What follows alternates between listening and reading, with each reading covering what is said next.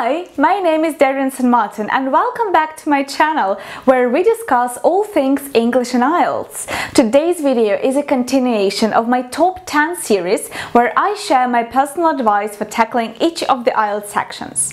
In this episode, we will talk about speaking, my favorite module. In addition, I've prepared a great gift for everyone who watches this video attentively. Let's rock this! Tip, you're able to control your own emotions and attitude to any situation in your life, including the IELTS speaking exam. Really, my biggest advice would be to work on your own mindset first. I know so many people who would fail their test just because of being too nervous and anxious, even with nice English. So I don't want any one of you to make the same mistake. I always approach the speaking section as a talk with a good acquaintance and you should too. I remember to smile, be friendly, relaxed, sound confident, and most importantly, natural. I mean it. Natural speech is really what the examiner is on the lookout for. The second tip is probably the most important and it builds on what I have just said. Strive to speak as naturally as possible. The examiner doesn't want to hear mechanical answers even though the grammar is impeccable. This means you have to listen to how native English speakers talk on a daily basis and note how they do it. There is a lot to it. Intonation, pronunciation, accent, vocabulary, grammar, context. Let me read this sentence with the Russian and English ways of talking. I am Russian for your record. In, our language, we don't really have a broad diapason of tonality, whereas the English do have very noticeable ups and downs in their speaking. Note the difference between the two. I bet you must have missed the whole movie. Oh, such a pity. I bet you must have missed the whole movie. Oh, such a pity. See how the range of my intonation changes. This has nothing to do with grammar, but speaking with the natural tone will help you score more. The third tip, learn how to use idioms and idiomatic language. I bet you have heard lots of different tips that sometimes might even contradict each other about idioms. And maybe you have even googled lists of idioms for your speaking. Sadly, this will not lead you to the high quality performance for scoring 7 plus.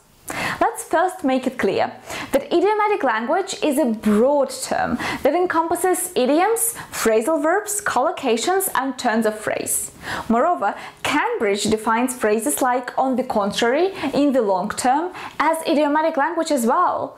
These have nothing to do with it's raining cats and dogs, do they? What I'm trying to say is that you shouldn't limit yourself to a certain random list of idioms you found somewhere on the internet. Instead, focus on how natives use idiomatic language. Idioms are quite rare in their speech. They definitely don't appear in every single sentence. It is very weird for a person to say, there has been a sea change for my job, but this challenge is a piece of cake for me. I really think that adapting to new situations is my cup of tea. No one talks like this in real life, although on IELTS it is possible to hear a candidate trying to squeeze in several idioms into one answer. Hence, maintain the balance. Native use phrasal verbs more often than idioms, and it is good for you because they also count towards idiomatic language.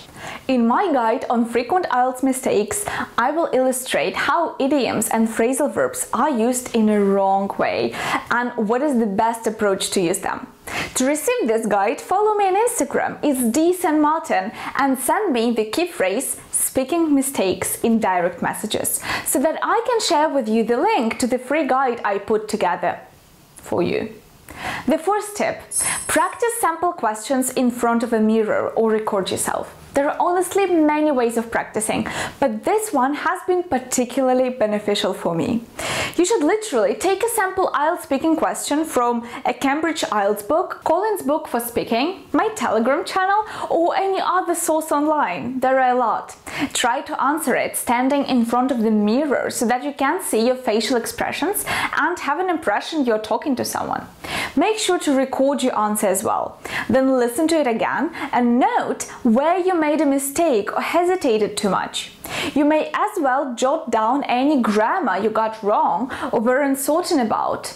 Try answering this question again then and correct all the mistakes you had previously made. The fifth tip, never give short one word or even one sentence replies. I thought this was obvious, but then some of my students think it's okay to answer, yes I am, or no, I didn't like movies when I was a child, and stop. This will not do the trick. On the contrary, you should aim at expanding your answer as much as it's acceptable by the speaking party you're replying to. The examiner wants to hear a range of synonyms, grammatical structures, how you're sequencing ideas, and managing coherence. It's just not possible when you answer in one sentence, and for this, sadly, you will be penalized. The sixth tip don't be shy to correct yourself. You might think that the key to your performance is fluency that is rated over accuracy, but this is just not the case. In fact, the examiner wants to hear clear and fluent speech with accuracy being more important. Why? Because anyone can be quickly rambling on, just saying anything they have in mind without paying attention to grammar and richness of vocabulary. This is actually something you can easily notice when traveling.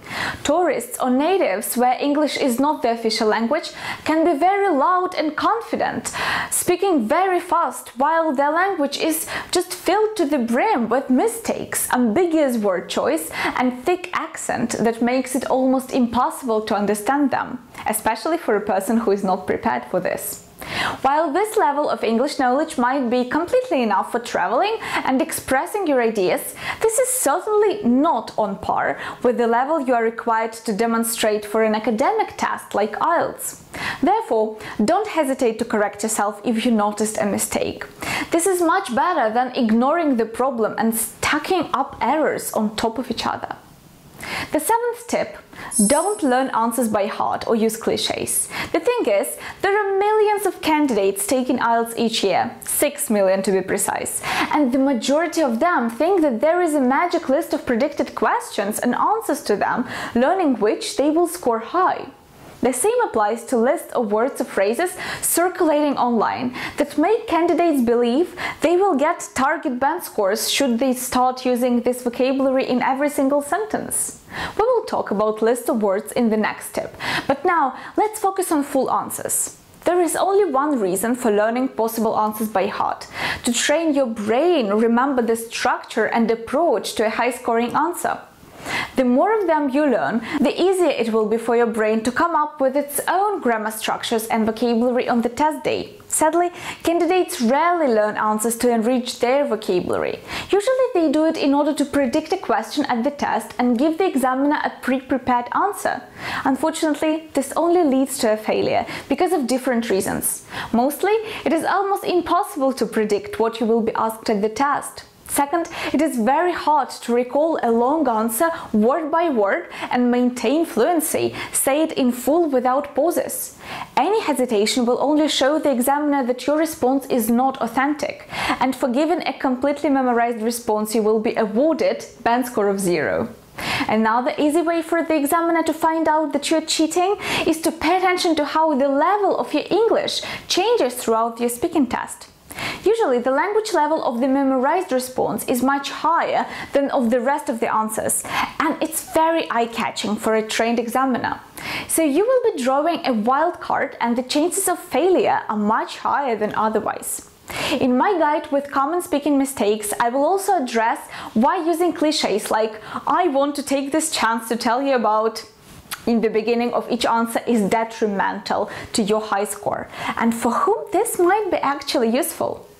The eighth tip, don't learn words from lists. This builds on, on what I've just said in the previous tip. The danger here is changing focus from what will actually help you score high. The thing is, when you're forced to learn dozens of unrelated words, it results in spending times and effort on storing information in your brain that you will be just unlikely to use. Write in the comments if you have ever had this feeling of learning tons of words, but then not being able to use them in speaking. This usually happens when you learn new vocabulary out of the context. The most effective way to learn new words is to notice them while reading or listening to something in English. You are able to pick up the tone of the words if it's used in a formal or informal context. If it's a part of a certain phrase or collocation. Then you can also look up several usages of this word in different sentences and pay attention to its synonyms. It's even more helpful to compose a couple of sentences yourself to better remember the spelling. Honestly, it's much more beneficial to use common vocabulary correctly than to try to incorporate advanced vocabulary that you're just unsure about. The ninth tip. There are no right or wrong answers in the speaking test.